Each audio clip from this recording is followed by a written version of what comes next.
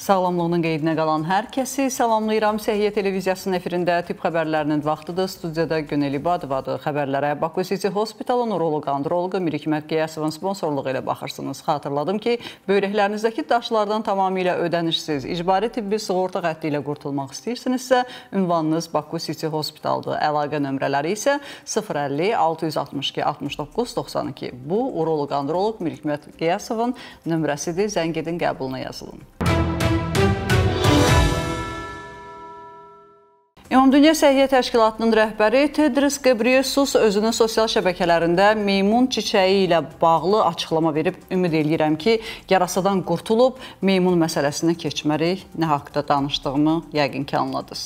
Ümumdünya Səhiyyə Təşkilatının Fövqəladə Hallar Komitəsi Afrikadakı meymun çiçəyi ilə bağlı vəziyyətə dair avqustun 14-də toplanacaq. Bu barədə qurumun rəhbəri Tedros Ghebreyesus öz sosial şəbəkə hesabında məlumat verib. Ümumdünya Səhiyyə Təşkilatının məlumatına görə Konqo Demokratik Respublikasında 2 ildir ki, meymun çiçəyi epidemiyası davam edir və o qonşu ölkələrə də keçə bilər. Qeyd edək ki, meymun çiçəyi nadir virus infeksiyasıdır. Bu adətən yüngül xəstəlikdir və insanların çoxu bir neçə həftə ərzində sağalır lakin bəziləri ciddi fəsadlarla üzləşə bilər. Xəstəliyin ilkin simptomlarından qızdırma, baş ağrısı, əzələ ağrıları, bel ağrısı, limfa düyünlərinin şişməsi, titrəmə və yorğunluq daxildir. Arı sancmasında və yaxud da digər şok yaradan allergiyalar nəticəsində nəhayət ki, damcı formalı bir dərman istehsala buraxılır. Bu günə qədər həmin şok yaradan allergiyalarda iynədən, inyeksiyadan istifadə olunurdu, lakin bir çox uşaqlar iynədən qorxur. Təsəvvür eləyin, şok vəziyyətində bir də iynəni görüb lap pis vəziyyətdə olurdular. İndi isə sadəcə e, burun damcılarını e, tökmək kifayət eləyəcək ki, hansısa şokdan, allergiya şokundan uşaq kənarlaşsın.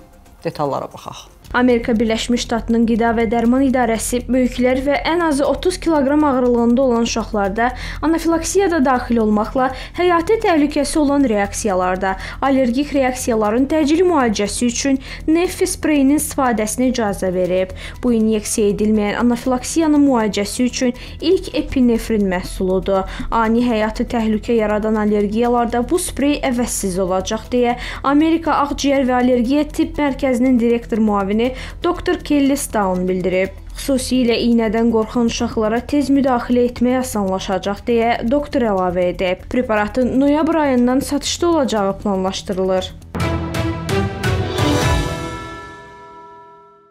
Antibiotiklər insanların dərisində ciddi allergik reaksiyalar yaradır. Yeni araşdırma bunu söyləməyə əsas verir. Birlikdə baxaq. Pasiyentləri ciddi dəri reaksiyalarına səbəb olan bəzi antibiotiklərdən qorunmaq üçün həkimlər bu preparatların seçimində çox diqqətli olmalıdır. JAMA-da nəşr olunan son araşdırmada tədqiqatçılar tez-tez təyin olunan oral antibiotiklərin dəridə fəsadlar yaratdığını aşkar edib. Tədqiqatda 20 illik arxivin 60 yaşdan yuxarı olan 3 milyondan çox insanın xəstəlik tarixçəsi araşdırılıb. Nəticələr göstərib ki, tez-tez istifadə edilən oral antibiotiklər, xüsusilə sulfanilamidlər, sefalosporinlər, nitrofurantoinlər, penisilinlər və ftorxinolonlar. Bunlardan çox istifadə etdikdə kliniki müalicələrə, hətta ölümə belə səbəb olur. Bu nəticələr həkimləri mümkün olduqda daha az riskli antibiotik təyin etməyin zərurətini vurğulayır. Nəfsini saxlaya bilməyənlər təklif edirlər ki, piylənmədən qurtulmaq üçün piştaxtalarda mövcud olan un, şəkər və duz istehlakçılarına böyük vergilər qoyulsun. Absurd deyilmi? Məncə çox absurd məsələdir. Dinləyək və izləyək. Böyük Britaniyada əksəriyyət istehlakçılar ultra emal olunmuş zərərli qida istehsalçılarına yeni vergi qoyulmasını tələb edir. Kütləvi sorğunun nəticələri dövlət qurumlarını piylənməklə mübarizə aparmaq üçün şəkər, un, duz kimi məhsulları istehsal edən şirkətlərə vergi tətbiq etməyə vadar edir. Əhali sorğuda tütün məmulatlarının istehsalçılarına da yüksək vergi ödəyiciləri siyahısına əlavə edilməsini də deyib. Ən yaxşı dərman, ən yaxşı müalicə bilirsinizmi nə imiş? Gülmək. Valideynləri və dayələri şən olan uşaqların psixikaları daha sağlam, fiziki formaları isə daha mükəmməl olurmuş. Əgər inanmırsınızsa, tədqiqatın nəticələrinə baxaq. Pensilvaniya Dövlət Universitetinin alimləri sübut edib ki, ən yaxşı dərman, ən doğru müalicə yumor və gülməkdir. Pilot araşdırmada tədqiqat qrupu müəyyən edib ki, valideynləri və baxıcıları şən, yumor hissi olan uşaqlar daha sağlamdır. Araşdırmanın nəticələri PLOS ONE jurnalında dərc edilib. Tədqiqatın rəhbər müəllifi Penn State Tibb Kollecinin professoru Benjamin Levy qeyd edib ki, təkcə uşaqların sağlam böyüməyində, möhkəm psixi sağlamlığında deyil, kollektivdə də yumorun mövcudluğu ümumi işə müsbət təsir edir.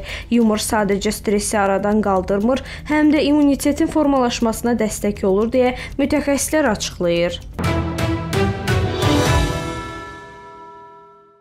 Səhər yuxudan duran kimi yorğunluq hiss eləyirsinizsə, aclıq var, amma gedib yeməyi hazırlamağa halınız yoxdursa və gün ərzində bir çox insanlar sizə tənbəl deyirsə, çox güman ki, xroniki yorğunluq sindromundan əziyyət çəkirsiniz.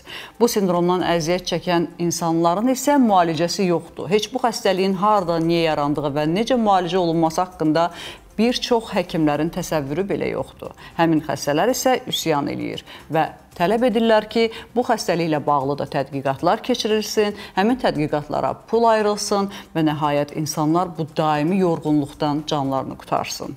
13 yaşından yorğunam. Bu cümlə Qərbin mətbuat gündəmində dolanır. Xroniki yorğunluqdan əziyyət çəkən Maeve Woodby O'Neill çarəsiz olduğunu və artıq xəstəliyinə çarə tapılmasını istəyir. Onun başlatdığı sosial kampaniyaya bir çox bu sindromdan əziyyət çəkən insanlar qoşulub. Xroniki yorğunluq sindromu ilk dəfə 1984-cü ildə həkim Paul Cheney tərəfindən təsvir edilib. Bu xəstəlik cavan ali təhsilli adamlar arasında geniş yayıldığı üçün ona bəzən məcazi mənada cavan karyeristlərin qripi də adlandırırlar. Amerika Birləşmiş Ştatlarında aparılan araşdırmalara əsasən ölkədə 10 milyonadək insan bu sindromdan əziyyət çəkir. Psixoterapevtlərin fikrincə, əgər insan gün ərzində işi 10 saatdan çox fikirləşirsə, bu artıq xroniki yorğunluq sindromudur. Bəzən bu adamlar tənbəllikdə ittiham olunsa da, hansısa işə görə bilməməklərinin səbəbi fiziki güclərinin yoxluğundan irəli gəldi edildiyi sübut edilib. Meyv və tərəfdarları xroniki yorğunluq sindromu üçün araşdırmalara başlanılsın deyə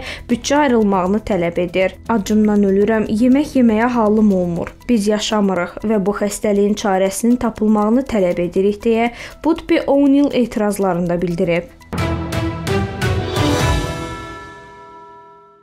Bugün olan səhiyyə xəbərlərimiz bu qədər. Dünyada və ölkədə baş verən ən vacib tip xəbərlərini bizdən izləyin. Eyni zamanda daha çox maraqlı və bir-birindən faydalı səhiyyə xəbərləri üçün sağlamolun.az saytına daxil olmağı unutmayın. Xatırladım ki, xəbərlərin baş sponsoru Baku City Hospitaldır. Özünüzü və doğmalarınızı qoruyun. Sağ olun, salamat qalın.